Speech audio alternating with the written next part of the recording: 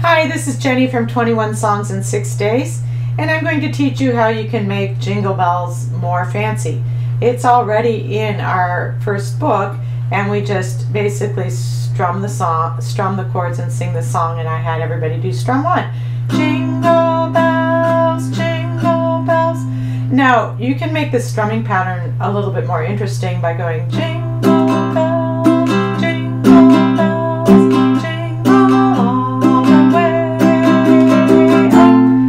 I'll explain what I'm doing. I'm going down, down, up, down, down, up, down, down, up, down, down. And then when I reach a whole note or a note where I hold for a long time, I go.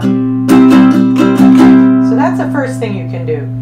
Then uh, you can just sing the song through. Jingle bells, jingle bells, dashing through the snow. Then when you come back to jingle bells, instead of singing the song, you can play the melody. And I have that written out in tab. Uh, the way that tab works, and I'll put it right in front of the screen so it can be seen, is you can see there's a line of music, and below the line of music are four lines that say tab. And the four lines represent the four strings of the ukulele. And the first note that you see over here is a zero underneath a treble clef E. So if you don't read treble clef, that you don't have to because what the tab is showing you is where these notes occur on the ukulele. Now, the thing that some people find is that if they turn it like this, it might make more sense with the ukulele strings. But with my tenor ukulele, my string that is closest to the ceiling is lowest in pitch.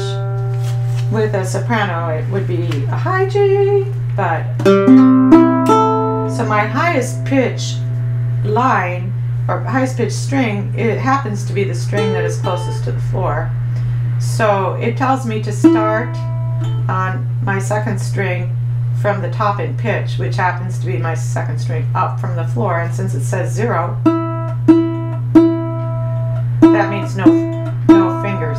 And then it says zero and then three. And three, it doesn't matter what finger you play.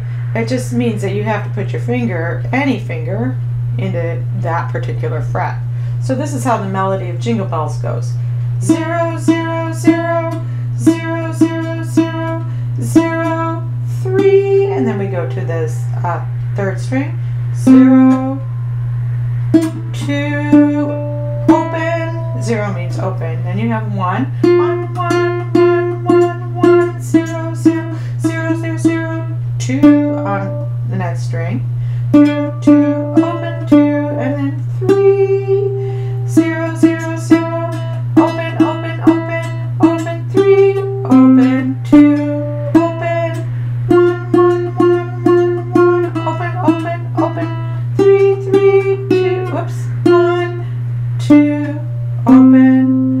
That's how you play Jingle Bells. You can read the tab or you can figure it out by ear, either way.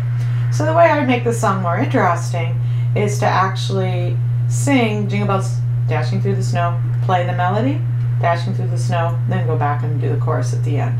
So go ahead and play along with me. It's still the three chords, C, and then the F, and the G7. So here we go. One, two, a one, two, three, four. Jingle bells,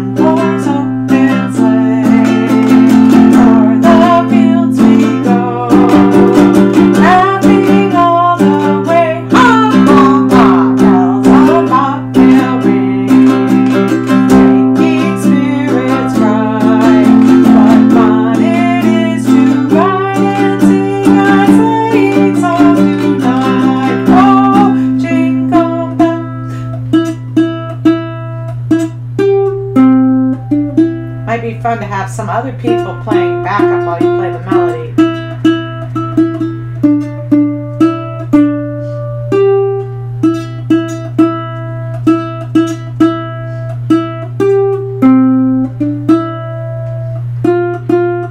When I play melody, I always use my thumb for that. Then I go back to my strumming patterns. Dashing through the sun.